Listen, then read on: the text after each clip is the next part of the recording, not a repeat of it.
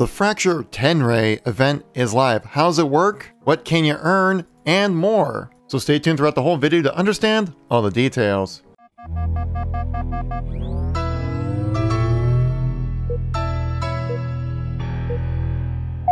How's it going everybody? Kevin here once again, and we're going to do a quick overview of everything that's in the Fractured Tenrai event. This event allows you to unlock your armor core for the Yoroi armor set. So how do events work in Halo Infinite? Well, basically you have two sets of challenges. You have your event challenges marked in orange right here, and your regular challenges as well. If Once you unlock your challenges for the event, it'll give you event Battle Pass progression. This event also brings back the fan favorite Fiesta mode into Halo Infinite, so we have an extra little goodie to play around as well, which has some challenges tied to it as well. You can see my current weekly challenges right here, which actually provide a good amount of XP, 300 for completing it, which is kill enemies in Fiesta matches. That's pretty easy. Complete two Fiesta matches. We can check out our upcoming challenges as well, which is earn assist in Fiesta, win PvP matches in Fiesta, stop an enemy killing spree in Fiesta, and just complete four matches as well. And also earn a killing spree within Fiesta, which can be a little tricky, but I think it's possible. As this Fracture Tenrai event will only last throughout this week. And this event will have six other times that will come out throughout the entirety of Season 1, since Season 1 will last until May. With Week 2 showing up in January, Week 3 showing up in February and so on. Now this battle pass is very interesting for this event as, as, there's a lot of like double XP and not a whole lot of armor customization. Let me show you. So at level 5 is when you unlock the Yoroi armor set right here for the armor core. A lot of challenge swaps, a lot of double XP, some good amount of emblem stuff here which actually look pretty awesome, not gonna lie.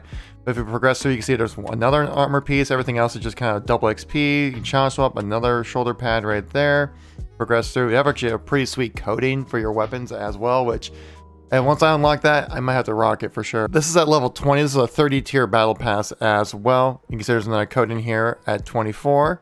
Helmet at 25, some more double XP, challenge swaps, another coating at 28 for looks like the battle rifle. And you have a helmet attachment at 29, which looks pretty freaking awesome, as well as level 30 finishing off with a nice belt looking thing. And just by logging into this event, you do unlock the Fractures looking Spartan 19 backdrop as well. I will be honest with you guys, I was kind of expecting a bit more with this battle pass, a little bit more in the way of like armor and customization, but it seems like most of it is actually just ways to get double XP and challenge swaps, which double XP is absolutely needed when it comes to progressing through this battle pass right now as it stands.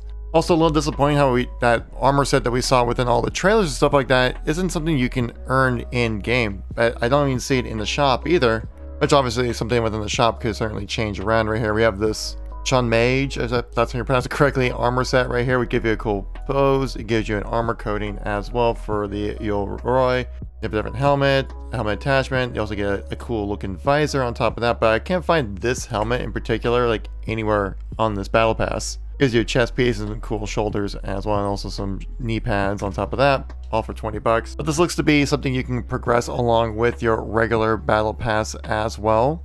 Plus all these challenges don't seem to be too challenging in a way. They all kind of seem to be more like play the game kind of challenges for you to get your unlocks. And then we have the Perilous Warrior as the Willow T for the weekly unlock here. But yeah, let me know what you think about the Battle Pass here. Let me know what you think about the Fracture event of Fiesta coming back into Halo Infinite. So thank you so much for watching. I greatly appreciate it.